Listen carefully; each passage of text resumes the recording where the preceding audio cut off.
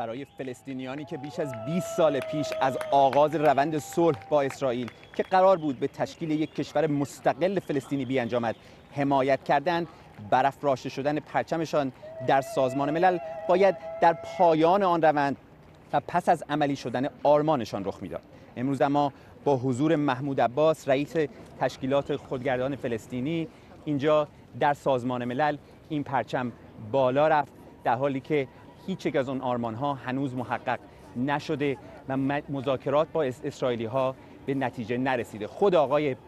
عباس دقایق پیش در مجمع عمومی سازمان ملل گفت با توجه به نقض مکرر توافقنامه ها با اسرائیل از سوی طرف اسرائیلی فلسطین هم دیگر به اونها پایبند نیست. گویا که مشخص نیست معنای این حرف او در عمل چه خواهد بود اما استراتژی مقام های فلسطینی این است که تلاش کنند مشروعیت ایده یک کشور مستقل رو در سطح بین‌المللی بالا ببرند به خاطر همین هم چند هفته پیش از مجمع عمومی سازمان ملل خواستند که اجازه بدن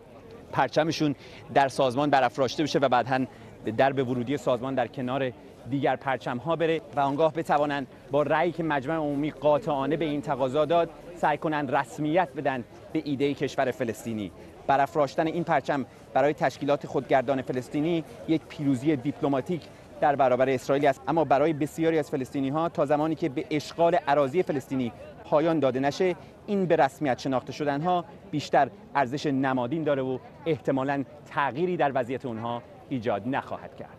بهمنی کلباسی بی بی سی مقر سازمان ملل نیویورک.